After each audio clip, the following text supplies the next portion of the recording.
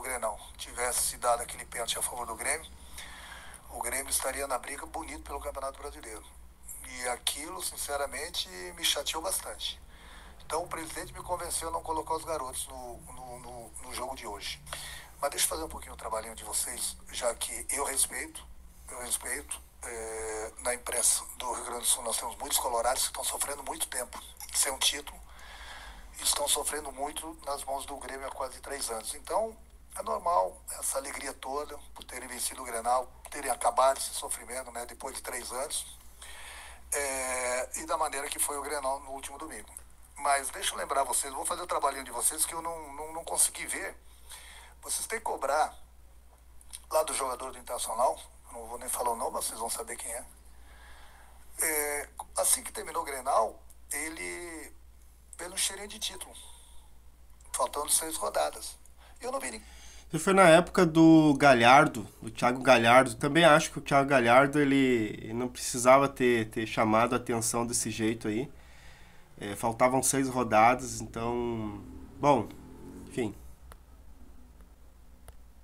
Ninguém critica ele. Faltando seis rodadas. O Internacional tem um grande time, está liderando o Campeonato Brasileiro, mas faltam seis rodadas. Por que, que não perguntaram para ele por que, que ele fez aquele gesto faltando seis rodadas? Tem um bom time? Estavam querendo ajuda do Grêmio? Tem um bom time, que ganhar dos adversários ganha dos adversários. O Internacional não precisa de ninguém. Depende de suas próprias forças. Mas faltam seis rodadas. Cheirinho de título. Se o jogador do Grêmio faz isso, se o treinador do Grêmio faz isso, cai o mundo. Muitos anos sem ganhar um título, né? Muito tempo sem ganhar um Grenal. É. Tem que dar um desconto, né? Que o sofrimento estava sendo muito grande. Muito grande mesmo. E vocês têm que comentar o seguinte, ó. Ele provocou os adversários. Comentem isso. Fale um pouquinho sobre isso. Ou vocês não viram? Então não fiquem cobrando aqui que o Grêmio tem que ganhar dos adversários que estão brigando pelo título para ajudar o Internacional. O Internacional nunca vai ter a nossa ajuda, pode ter certeza disso. E aí, pessoal? O Inter deve ou não emprestar o estádio Beira-Rio para o Grêmio? É lógico que o Inter nunca vai emprestar o estádio Beira-Rio enquanto o Renato Gaúcho estiver treinando o Grêmio. E nem deve. Nem deve. Assim ele, ele falou.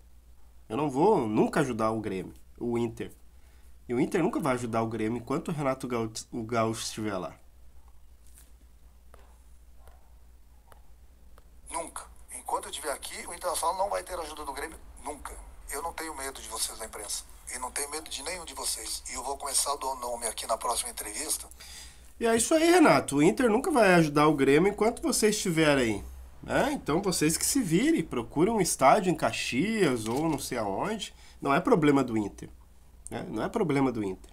Não é uma questão de humanidade, de isso e aquilo, é questão de futebol. Né? E por conta da tua arrogância também, muito por conta da tua arrogância, o Internacional está de má vontade em ajudar o Grêmio. Ainda mais agora que o Grêmio é, está no Z4 e tem chances reais de cair com, com o Renato, né?